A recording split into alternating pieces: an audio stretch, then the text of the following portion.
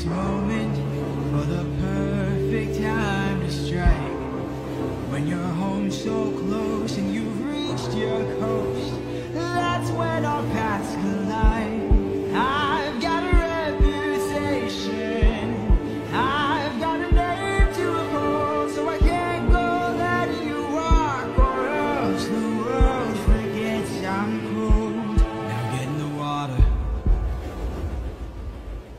get in the water.